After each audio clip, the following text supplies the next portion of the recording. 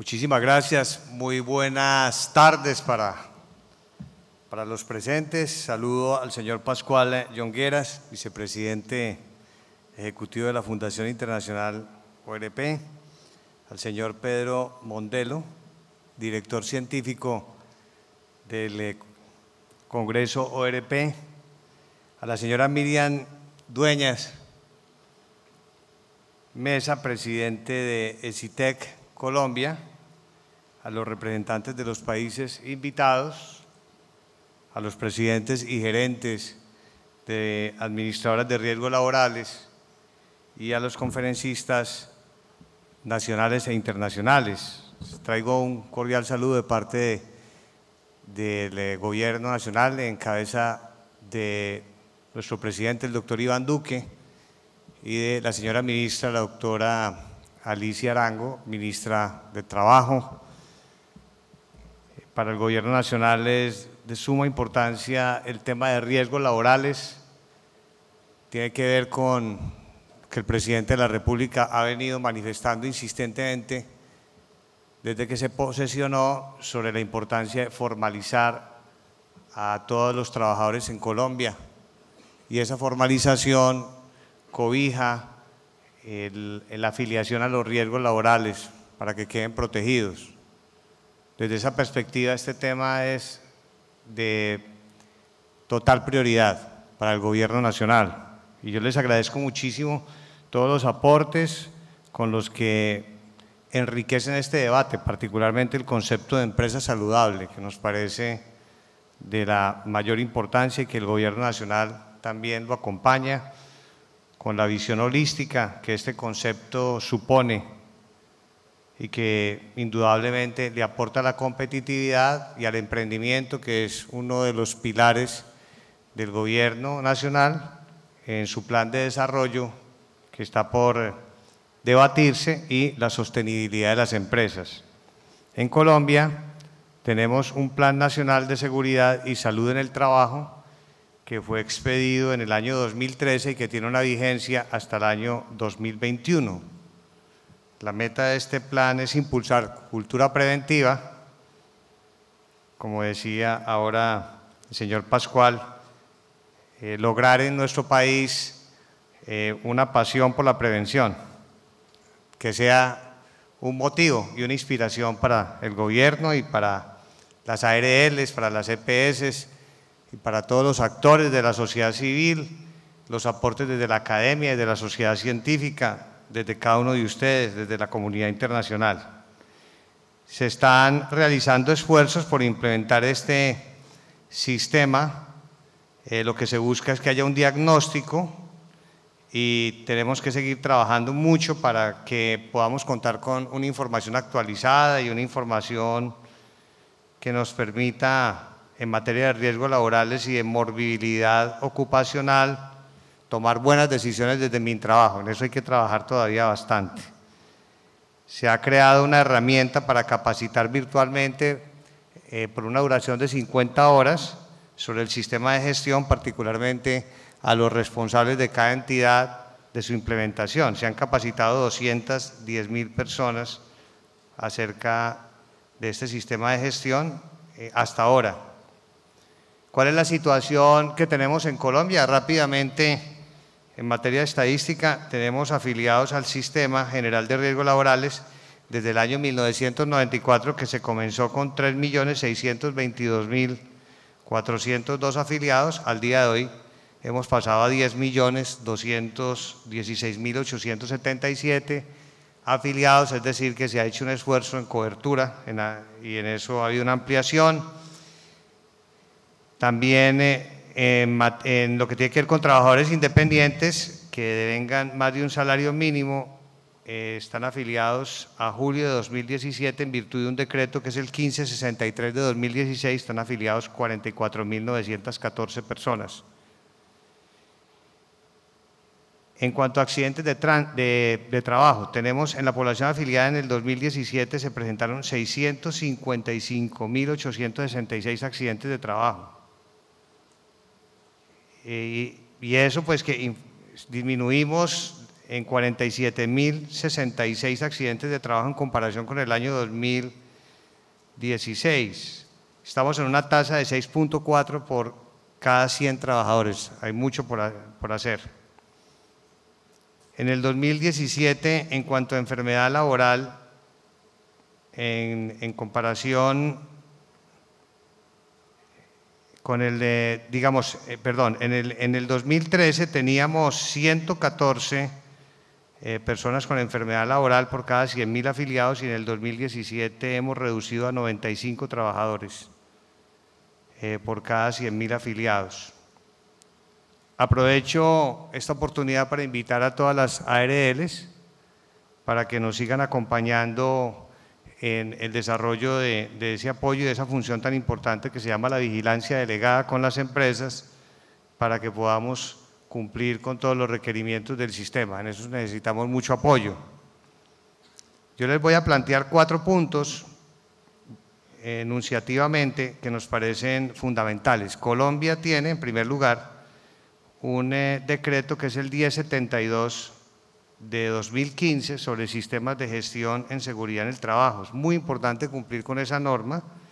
Y también tenemos la resolución 1111 de 2017 sobre garantía de calidad del sistema de gestión. Sin embargo, la ministra, la doctora Alicia Arango, la ministra del Trabajo, ella está muy preocupada porque en Colombia hay una cantidad de normas que le están exigiendo en materia de riesgos laborales a las pequeñas empresas, a las medianas empresas, que realmente generan mucha restricción y rigidez y nos parece que no se compadece con la característica particular y propia y de su condición, de tamaño. Por ese motivo el Ministerio de Trabajo ya anuncia que va a comenzar a estudiar una reforma en ese sentido, que es algo que ACOPI ha venido planteando y nos parece que tiene sentido hacerlo y también diferentes sectores. Es algo en lo que nos comprometemos. En el, Viceministerio de Relaciones Laborales e Inspección hay una dirección que llama la Dirección de Riesgos Laborales yo pues me, comprometo públicamente que vamos a trabajar en ese sentido. Llevo una, un, mes y una semana en el cargo, lo mismo que la señora ministra, pero queremos actuar y queremos hacer un ajuste normativo. Sin embargo, hay que cumplir las normas, pero viene en camino un ajuste normativo. También eh, quisiera tocar otro punto que tiene que ver con la informalidad en Colombia. es algo consensuado, es un denominador común en las reuniones que hacemos de la Comisión de Concertación para definir el salario y las, y las relaciones laborales, los temas laborales en Colombia, que es tripartita, donde participan los empresarios, los trabajadores y el gobierno, que el gran tema, el gran problema de la economía en Colombia es la informalidad y que necesitamos asegurarle los riesgos, la protección en riesgos laborales a todos los trabajadores colombianos, lo mismo que su pensión de vejez y lo mismo que eh, puedan ingresar al régimen contributivo de salud. En este sentido, eh, se está buscando una medida, y es un proyecto de ley que cursa en el Congreso de la República que se llama el piso mínimo social, que sería para empezar. Estamos hablando de un microseguro, que se está proyectando para proteger a los campesinos, a los trabajadores del campo en Colombia. En Colombia tampoco, y es, una, es algo inflexible, es muy difícil darle trabajo a la gente por horas, porque si por ejemplo un estudiante quiere trabajar por horas, después de que va a la universidad no puede hacerlo porque la empresa dice, pero ¿cómo lo voy a contratar si tengo que pagarle toda la seguridad social y los riesgos laborales del mes? Entonces lo que estamos buscando es que se pueda pagar también eh, todo lo que son riesgos profesionales proporcionalmente. Y estamos buscando mecanismos para que bajo esos esquemas nuevos, que son un imperativo y una realidad, se pueda garantizar el trabajo por horas, pero también con la protección social. Y asimismo, eh, nos parece muy importante que nosotros podamos activar el fondo de riesgos laborales, ese es el tercer punto, porque existe un fondo que se nutre por los aportes de cada afiliado al sistema y ese fondo no se ha utilizado bien, no, tiene como un objetivo claro y ahí también asumimos un compromiso público para que ese fondo esté al servicio de todo este propósito, de la prevención, de fortalecer los sistemas de información. Son ideas, obviamente esto es parte del estudio, pero es un compromiso de las investigaciones quizá, de apoyar a las poblaciones vulnerables. Estamos en esa evaluación, pero el fondo de riesgos laborales tiene que activarse en Colombia porque ahí hay un presupuesto, hay unos recursos que no se han empleado adecuadamente. Y por último, hay una norma que es un decreto presidencial del año 2002, que es el que clasifica las actividades económicas. Obviamente, eh, una actividad, cada oficio tiene su un riesgo. Por decir algo, quien corta caña de azúcar, que es un cortero, así se llama en Colombia, un cortero, si utiliza una máquina, pues tiene un riesgo menor que el quien utiliza artesanalmente un machete, no sé si me entenderán en otros países, pero tiene un mayor riesgo de amputación. Entonces, eso está así desde el año 2012, hay una cantidad de actividades económicas que no están incluidas y entonces todo lo que tiene que ver con la afiliación y los riesgos está en un vacío legal. De modo que esos cuatro temas como compromiso, eh, me llevo la idea eh, que es muy valiosa de la estrategia 5Z eh, y destaco pues todos sus componentes holísticos como un todo, pero destaco para decir lo que voy a decir, eh, lo que tiene que ver con eh, cero accidentes de trabajo y cero enfermedades laborales, que serían un gran aporte para Colombia. Nosotros en este momento estamos en un gran problema, no tiene que ver con este tema, pero quiero eh, socializarlo, que es el de las incapacidades laborales. Tenemos una estadística que nos tiene realmente muy preocupados que hace cuatro años teníamos dos millones de incapacidades laborales por enfermedad común, dos millones hace cuatro años, dos millones de días, y ahora tenemos 20 millones de días. La gente se está incapacitando y el Ministerio de Salud y el Ministerio de Trabajo quieren liderar una campaña también con la Fiscalía General de la Nación para verificar qué es lo que está pasando. Y eso deriva también en una problemática gravísima que es la estabilidad laboral reforzada que en este momento está generando reubicaciones más o menos en promedio un 2% en todas las empresas en Colombia. Hay sectores como la caña de azúcar que tienen reubicaciones del 9%.